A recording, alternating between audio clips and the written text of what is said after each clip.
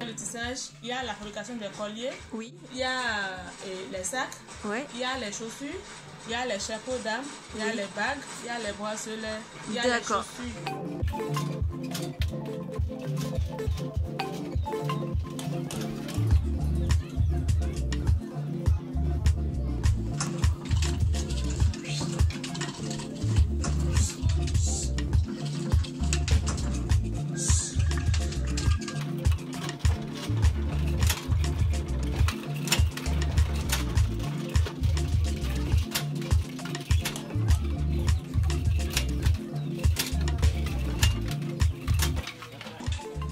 J'avais gagné ce trophée au cours d'une exposition. J'étais partie à une exposition dont on a fait la compétition des artisans et j'étais la troisième au Bénin. J'ai reçu ce trophée. Bravo. Oui, Oui. j'étais la troisième au Bénin et ils m'ont donné ce trophée pour m'encourager. D'accord. Et ça, c'était en quelle année? C'était euh, édition 2003.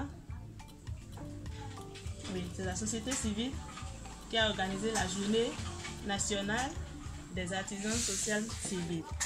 Je l'ai gagné.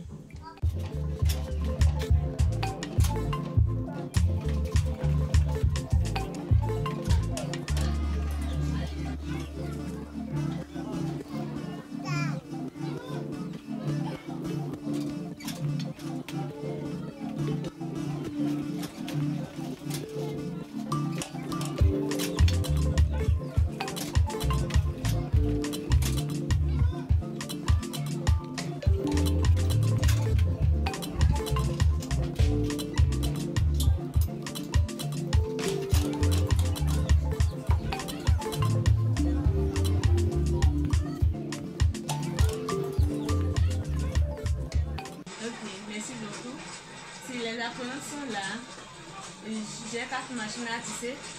Je classe quatre personnes sur les machines à tisser.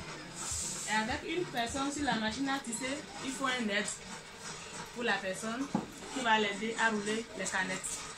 Et je place les gens pour les canettes. Je place d'autres pour la perfection des, des, des porte-monnaies. Je place d'autres sur la confection des chaussures. Je prends une autre personne, je lui remets la responsabilité de prendre soin des chapeaux. Et moi-même, je suis là. Je les surveille et je travaille encore avec eux pour leur donner l'exemple de travail. Donc, regarde ce que j'ai porté. J'ai acheté un pain. J'ai mis le tissu tissé dedans. Oui. Ici, j'ai fait une modèle avec. J'ai coupé ça. J'ai mis ça ici aussi. J'ai fait une modèle avec. Et ensemble, le travail va évoluer, Catherine.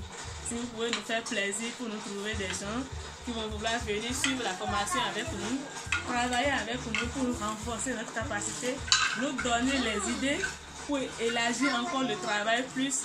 Vraiment, nous serons contents de leur dire bonne arrivée.